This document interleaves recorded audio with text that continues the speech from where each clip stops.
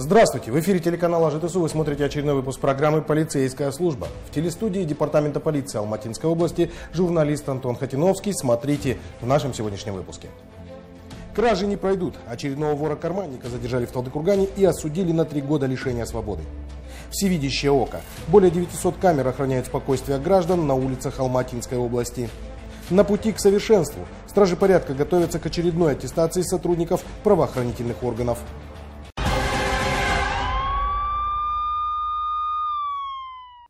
А теперь об этом и другом более подробнее. Очередную группу любителей поживиться за чужой счет задержали в курортном городе Капшигай. Правда, на этот раз оказались не доморощенные разбойники, а воры-гастролеры из южной столицы.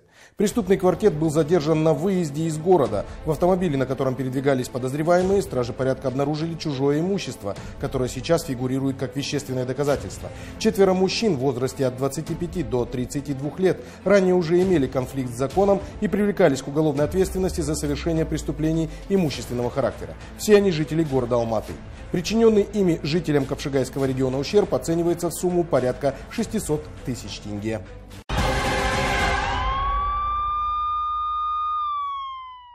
Пожалуй, мало кто из женщин не мечтает холодной зимой укутаться и ощутить тепло в настоящей меховой шубе. Только вот не у каждого хватает на это средств, ведь натуральный мех – удовольствие не из дешевых. Двое жительниц Панфиловского района решили во что бы то ни стало поиметь такие шубки. Факт кражи зарегистрирован 31 января. В полицию обратилась жительница приграничного села Нуркен с заявлением о краже 13 норковых шуб, общая стоимость которых превысила 5 миллионов тенге.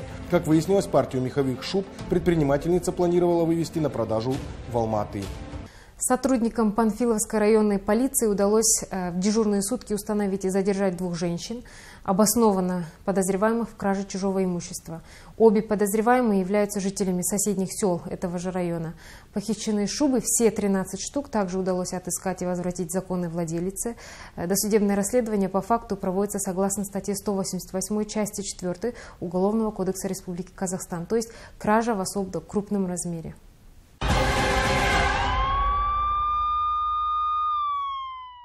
На какие только аферы не идут граждане в своем стремлении к легкой наживе. Кто-то продает несуществующее жилье, кто-то предлагает услуги и не выполняет их. Но совсем оригинальным оказался 26-летний житель Алматы, обвиняемый в крупном мошенничестве. Молодой человек выдавал себя за работника прокуратуры и предлагал подсудимым освобождение от уголовной ответственности за определенную плату. Таким образом, он нанес потерпевшим материальный ущерб на сумму около 23 миллионов тенге, так и не выполнив своих обязательств. С тем, чтобы избежать возмездия, мужчина более года скрывался, однако был задержан и отправлен на скамью подсудимых.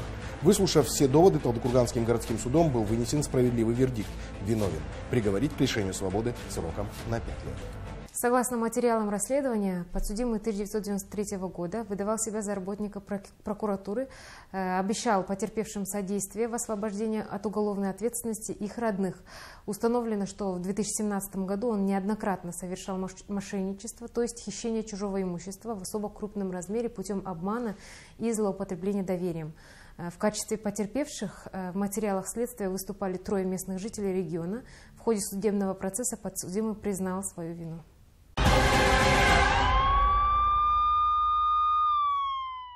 Наиболее часто совершаемые преступления, которые отмечаются в сводках полиции, касаются имущества граждан. В частности, карманные кражи, которые совершаются в общественных местах. В прошлом году было совершено более 500 карманных краж. Общественный транспорт – одно из таких мест. Здесь в минувшем году совершено 402 таких преступления. В толчье стащить кошелек или телефон для профессионального карманника, как говорится, плевое дело. Поймать таких воришек можно, но довести до суда не так просто. В большинстве случаев такие дела завершаются примирением сторон. Но не в этом случае. В Талдыкургане завершился суд над 28-летней женщиной, которая за один день обчистила карманы пяти талдыкурганцев. Материальный ущерб составил 400 тысяч тенге, и суд справедливо приговорил ее к трем годам лишения свободы.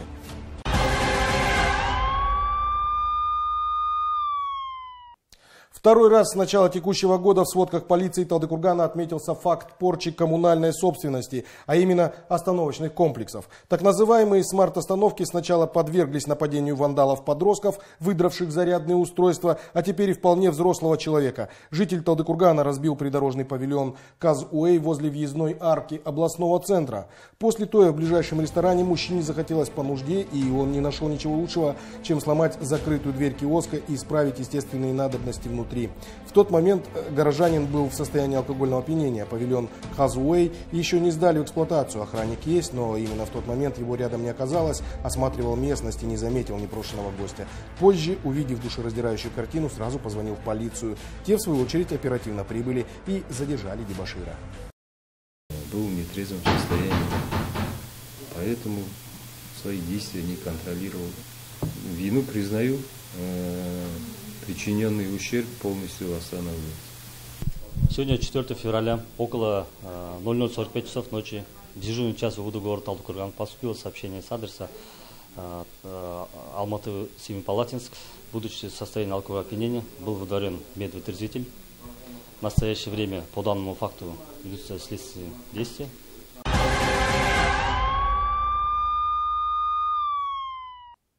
В Илийском районе в последний день января в районную полицию поступило сообщение о разбойном нападении на заправочную станцию. Двое преступников напали на заправочную станцию, расположенную на автодороге Комсомол-Чапай. Как выяснилось, преступники действовали в масках. Связав охранника и кассира, они похитили около 200 тысяч тенге, а также подогнав к автозаправке грузовик с цистерной, слили более 18 тонн дизельного топлива. Сотрудникам Илийской районной полиции удалось в ходе оперативно-розыскных мероприятий установить и задержать двух подозреваемых и возвратить похищенное дистопливо топлива. Подозреваемые помещены в изолятор временного содержания районной полиции. Э, похищенное дистопливо возвращено законным владельцам. Досудебное расследование проводится согласно статье 192 Уголовного законодательства Республики Казахстан, то есть разбой.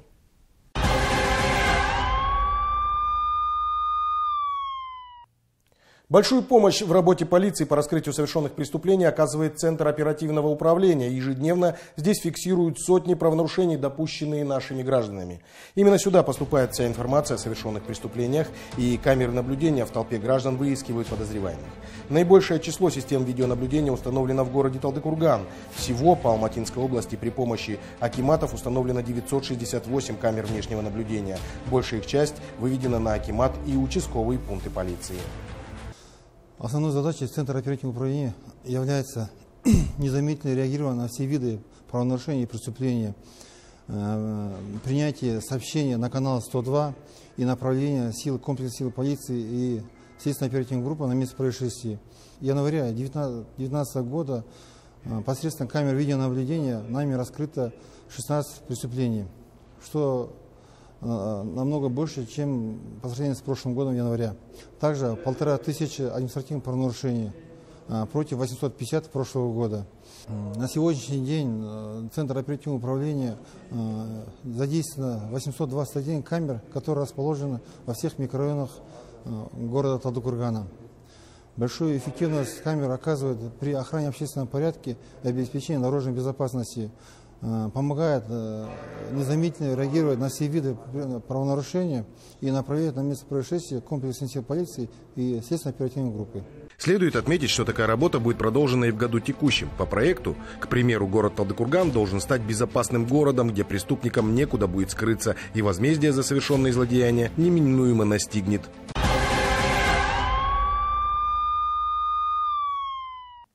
Конечно, успех в работе зависит не только от технического оснащения, но и от самих стражей порядка, которые должны систематически повышать свой профессиональный уровень. В этой работе им помогает управление специальной подготовки.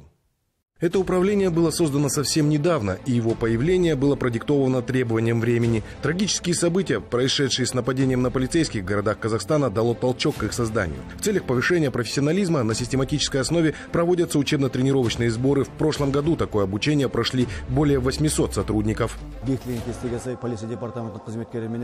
Сейчас начинается очередной этап реформы правоохранительных органов. Это значит, что действующим сотрудникам придется проходить переаттестацию, что подразумевает подразумевает сдачу всех нормативов. В их числе не только знание законов и подзаконных актов, но и умение обращаться с стабильным оружием и физическая подготовка. Поэтому мы ведем такую целенаправленную работу.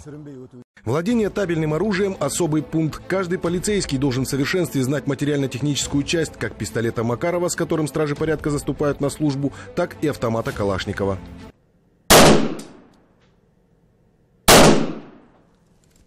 атуды аяқтадым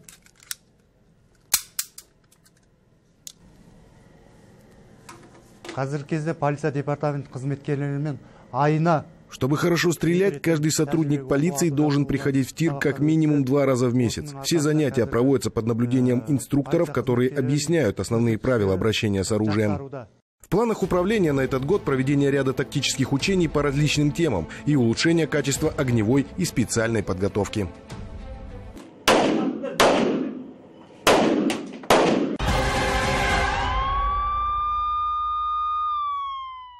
На этом очередной выпуск программы «Полицейская служба» подошел к своему завершению. Будьте бдительны и помните, что только сообща мы сможем навести общественный порядок. Ну, а если с вами что-то произошло, либо вы стали очевидцем правонарушения, либо преступления, незамедлительно сообщайте об этом по телефону 102, либо по номерам телефонов соседского присмотра вашего региона.